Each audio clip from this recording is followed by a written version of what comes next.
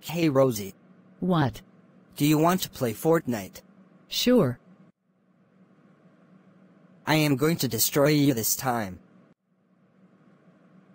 We'll see about that. This is so easy, I can do this with my eyes closed. Shoot. You killed me. I always do. Three hours later. Caillou, I've killed you 164 times and you haven't killed me once, just give up. No, I won't give up until I beat you. Fine, whoever gets the next kill wins.